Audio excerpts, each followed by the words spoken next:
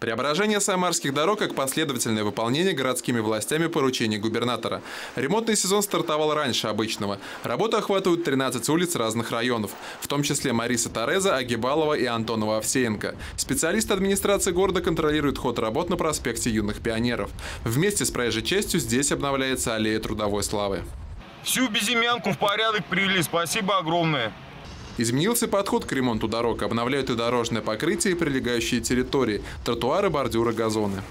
Одно из излюбленных мест отдыха самарцев аллея Трудовой Славы не знало столь масштабного преображения с момента основания 1985 года. Здесь в этом году будет уложено 23 тысячи квадратных метров плитки. Сначала отсыпают щебеночное основание, укладывают геоткань, затем на песочный слой плитку трех разных видов. Здесь специально на плитке выступы сделаны, то есть, чтобы образовывался минимальный шов. Вот если посмотреть, он вот присутствует.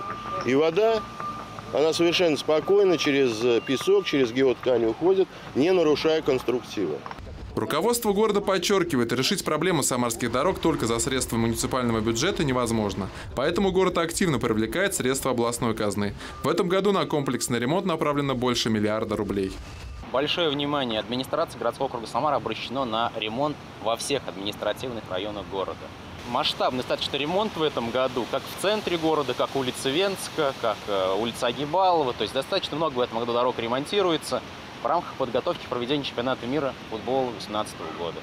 Усилен контроль за качеством. Во время гарантийного срока, который составляет 5 лет, подрядчикам придется исправлять недочеты за свой счет.